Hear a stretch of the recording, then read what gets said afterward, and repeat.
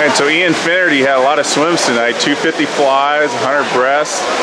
Talk about how you were able to, you know, get the warm down you needed to be able to swim fast. You had obviously winning the 50 fly after a 50 fly semi and 100 breast semi is not an easy thing to do. Um, well, first first thing I do after the swim is I get a little bit from the coaches and I go straight to the warm down pool, get as much as I can in, and then from there on to the ready room, I'm doing all sorts of kind of stretches, shaking it out. I've never stopped. I've never done warming down until the next race, really. So that 50 fly final, did you know you had been the top seed going all the way through? Did that surprise you at all? Uh, it did a little bit. I was trying some new things in prelims and semis, and then finals I kind of went back to what I did in prelims, and yeah, it surprised me a little bit, but I'm ready for 100 fly tomorrow for sure. What do you think was the key for you to be able to win that 50?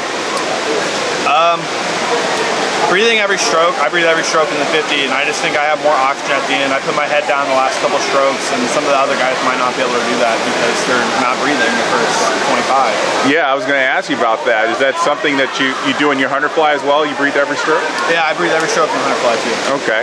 So tomorrow is obviously going to be pretty tough. You got the 100 fly, most likely prelims and semis, and then the 100 breast final. Um, let's look ahead to the 100 breast final. I mean, what's your what's your goal for that? Uh, I'd like to be one or two low. I'd like to hopefully win the event.